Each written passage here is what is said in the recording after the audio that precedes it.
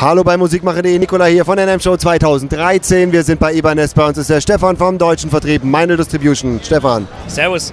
Und zwar hier haben wir noch ein sehr spezielles Modell. Das ist die AR-Serie. Die Modelle sind ja, die gab es ja früher in den 80ern schon, waren damals sündhaft teuer, sind heute, wenn man es auf Ebay bekommen will, auch extrem teuer. Und wir haben hier eine etwas günstigere Version aus äh, chinesischer Produktion. Sehr hochwertiges Instrument, sehr edel mit diesen äh, zwei materialischen Block-Inlays. Das ist Mother of Pearl und äh, Abalone. Wir haben ein sehr, sehr edles Binding an Kopfplatte und Hals. Super 58 Pickups, die ja früher auch schon sehr äh, eben für Furore gesorgt haben. Eine sehr aufwendige Schaltung mit, mit eben diesen drei Wege Mini-Toggles pro Hamburger, Splitbar, Out of Phase. Insofern eine wirklich, eine, wirklich sehr universelles Instrument, sehr edel mit diesem mit Binding. Wir haben einen super eingeleimten Mahagoni-Hals, einen Mahagoni-Korpus. Die Gitarre ist sehr leicht, was man eigentlich so nicht erwarten würde. Das Modell gibt es einmal mit äh, Maple Top und hier haben wir eine Figured Bobinga-Decke. Sind, finde ich, sehr interessante Modelle, auf jeden Fall mal auschecken.